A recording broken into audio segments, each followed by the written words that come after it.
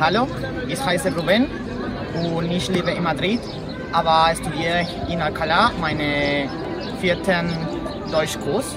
Diese Stadt ist über 2000 Jahre alt, weil es war äh, vom Roman äh, unter dem Namen Complutum gegründet wurde. Und unter dieser ganzen Geschichte ist mein Lieblingsplatz zweifellos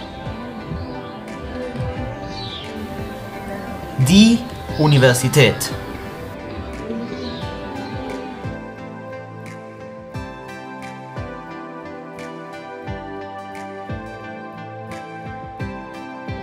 Diese wurde von grundlegenden Cisneros in 299 entworfen und viele Persönlichkeiten aus Spanien haben hier studiert, wie Quevedo, Lope de Vega oder Fray Luis de León.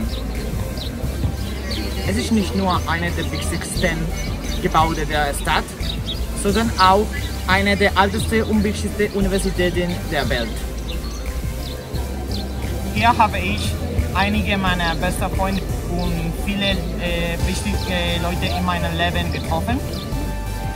Für all dies und vieles mehr halte ich er für einen der magischsten Orte der Stadt und vor allem für meinen Lieblingsplatz.